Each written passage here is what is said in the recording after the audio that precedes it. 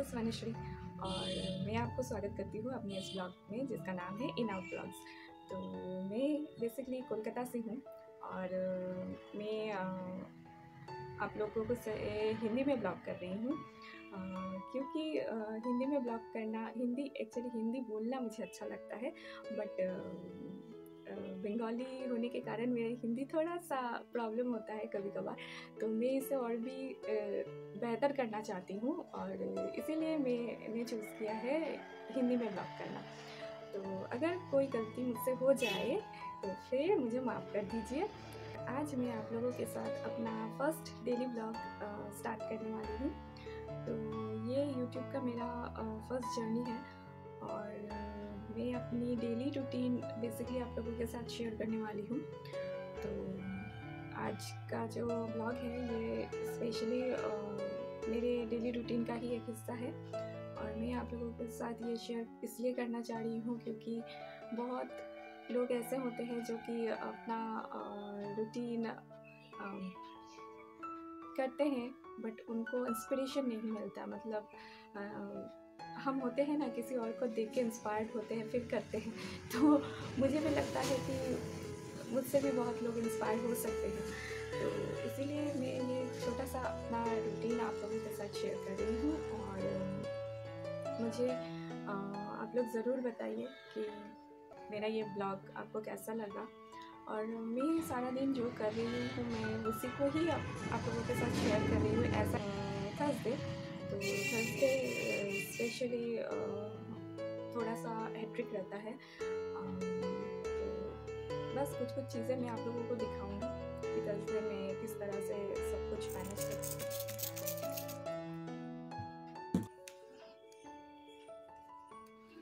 तो पहला काम मैं करती हूँ वीकली में एक दिन चूज़ करती हूँ जब मैं अपने रूम की कुछ चीज़ें साफ़ करती हूँ।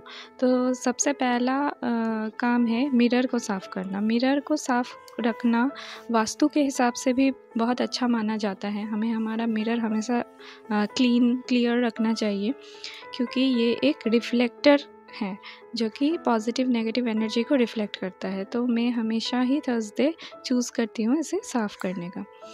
बाकी जैसे चीज़ें हैं जैसे कि हो गया हमारा टीवी मॉनिटर या पकड़ लीजिए कंप्यूटर ये एक्चुअली टीवी मॉनि टीवी है बट हम इसे कंप्यूटर मॉनिटर के हिसाब से यूज़ करते हैं। तो फिर ये टेबल अ, को भी मैं साफ़ करती हूँ और जो बाकी अ, इसमें कंप्यूटर एसेसरीज़ है वो सब भी मैं साफ़ कर लेती हूँ। देखिए साफ़ सुथरा घर किसे पसंद नहीं आता, सभी को पसंद है और हम जब अपने रूम को, अपने घर को साफ़ सुथरा रखते हैं ना तो हमें अपने आप से ही एक पॉजिटिव एनर्जी आती है। जितना भी मन ख़राब क्यों ना हो, जितना भी हम डिप्रेस क्यों ना हो, हम एक साफ़ सुथरा रूम में जब जाते हैं ना तो फिर अंदर से ही एक अलग सी खुशी, हैप्पीनेस, एक सुकून सा, पीस सा मिलता है, जो कि एक नॉर्मल अगर आप बहुत ही मैसी सा रूम हो तो वहाँ पे आप देखिए, वहाँ पे आप घुसने से ही आपको तकलीफ़ होता है। मतलब आपको अच्छा नहीं लगता होगा। हाँ माइंड बहुत डिप्रेस्ड हो जाता है। बट एक, जब नॉर्मल सा एक साफ़ सुथरा, सुंदर रूम आप डेकोरेटेड रूम देखेंगे तो फिर आपको मन को भी बहुत सुकून मिलता है। तो यहाँ मैं एक छोटा सा ब्रश यूज़ कर रही हूँ। ये एक्चुअली जॉनसन किट के साथ मिला था मेरे बेटे का। अ, है ये ब्रश तो मैं ऐसे यूज़ करती हूँ ऐसे छोटी छोटी चीज़ें साफ़ करने का। तो कीबोर्ड में छोटे छोटे कोने गैप्स होते हैं जिसमें हम कपड़े की हेल्प से साफ़ नहीं कर सकते। तो ये एक बहुत ही स्मूथ ब्रश है, जो इजीली इस, इसमें जो डस्ट पार्टिकल है, उसे आसानी से निकाल देता है। तो मैं इसे ही हमेशा यूज़ करती हूँ छोटी छोटी जगहों पे, जहाँ से गंदगी इजीली निकल जाए। यहाँ दो रैक्स हैं ये ग्लास के रैक्स हैं। कांच के तो फिर अ, मैं इसे भी वीकली एक बार साफ़ कर लेती हूँ। वीकली साफ़ करने से इसमें डस्ट पार्टिकल्स नहीं रहते हैं और ये रेगुलर ही साफ़ सुथरा लगता है। और बेसिकली ये कांच का है तो फिर इसमें थोड़ा सा भी अगर गंदगी हो तो फिर ये बहुत नोटिसेबल होता है दिखता है। तो इसे साफ़ रखना तो बहुत ज़रूरी है। तो मैं वीकली इसे कॉलिन से या कोई भी क्लीनिंग एजेंट से साफ़ कर सकती हूँ। और इसमें मैं छोटे छोटे सोपीस फ़ोटोज़ वगैरह रखती हूँ।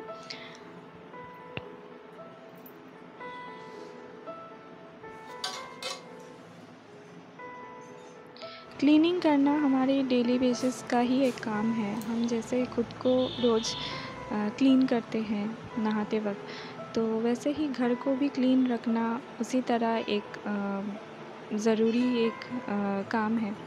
बट हम इस काम को बहुत निगलेक्ट करते हैं कभी कभार तबीयत ठीक नहीं लग रहा है कभी कभार बहुत लेज़ी लग रहा है टाइम नहीं हो रहा है।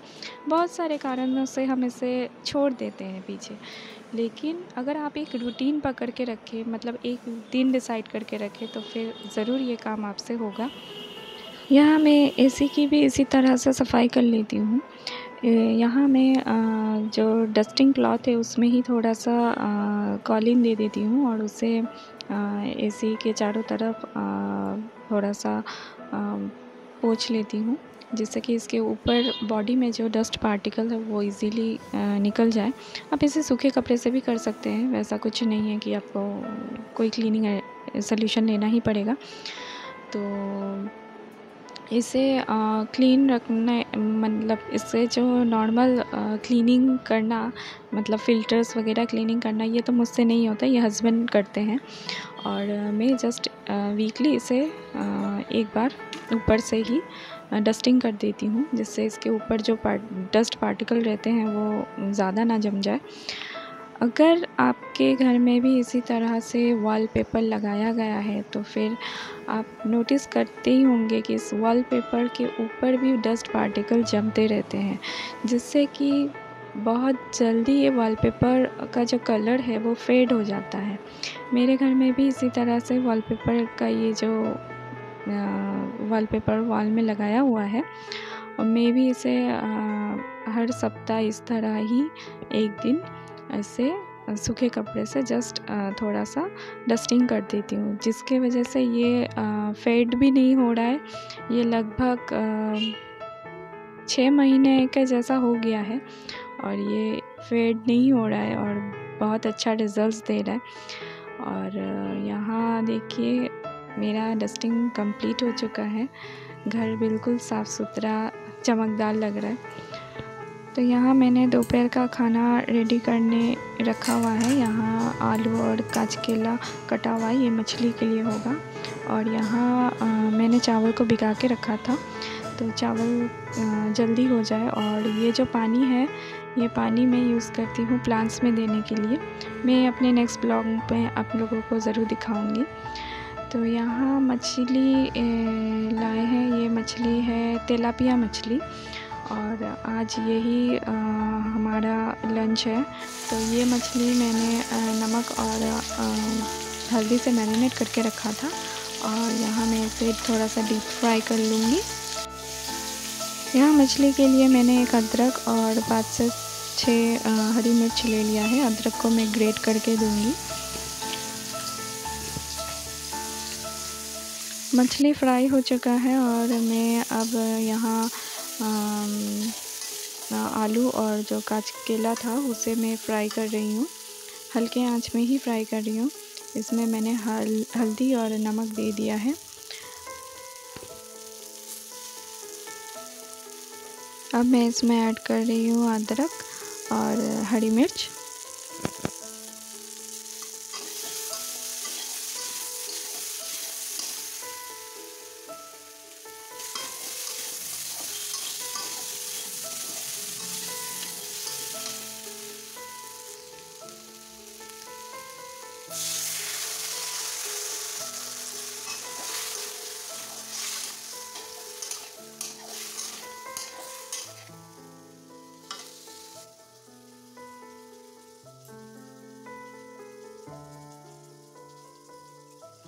अब मैं इसमें ऐड कर लूँगी थोड़ा सा पानी और इसमें मसाले दे दूँगी। इसमें मैं मसाले यूज़ कर रही हूँ जीरा पाउडर, हल्दी और नमक।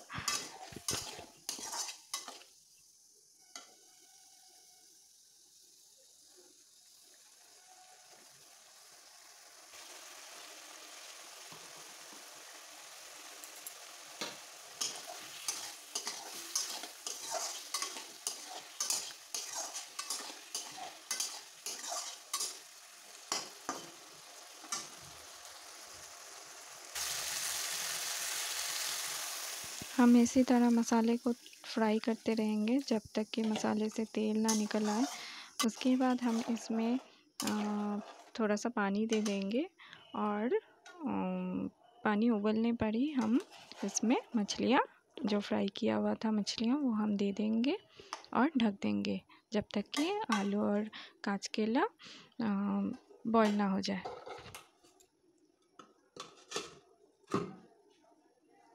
एंड में, मैं इसमें थोड़ी सी लाल मिर्च पाउडर, लाल मिर्च दूँगी, जिससे कि इसका रंग और टेस्ट जो है और भी निखर के आता है। बस, हमारा मछली का जो रेसिपी है वो बन के रेडी है।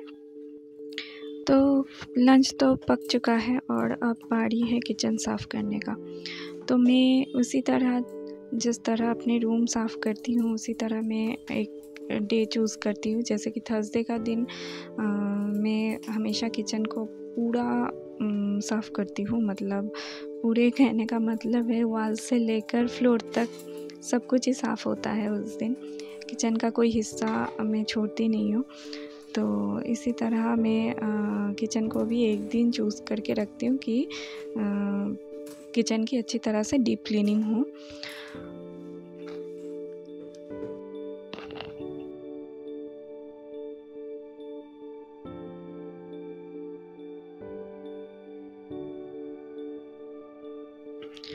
किचन को साफ़ सुथरा रखना ज़्यादा ज़रूरत है क्योंकि हम इसमें कुकिंग करते हैं और कुकिंग के टाइम तेल, मसाले इधर उधर होते हैं तो फिर बहुत ही चिपचिपा सा एक होता है। तो इसीलिए किचन को साफ़ रखना तो बहुत ही ज़रूरी है। इसे हम बिल्कुल भी नेगलेक्ट नहीं कर सकते।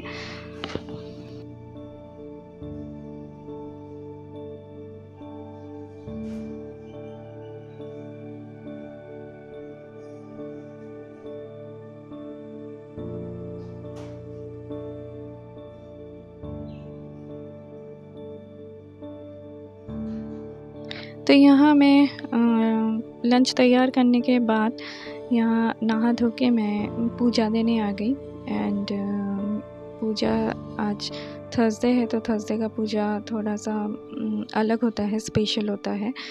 तो लक्ष्मी जी की पूजा होती है तो फिर इसलिए आज थोड़ा सा स्पेशल वैसे पूजा करने के बाद बस यहीं तक मेरा आज मैं इस वीडियो को यहीं पे एंड कर रही हूँ और आशा करती हूँ कि आप लोगों को अच्छा लगा होगा। वीडियो एंड तक ज़रूर देखिए और अगर आपको पसंद आए तो फिर लाइक शेयर ज़रूर कीजिए कमेंट में बताइएगा कैसा लगा।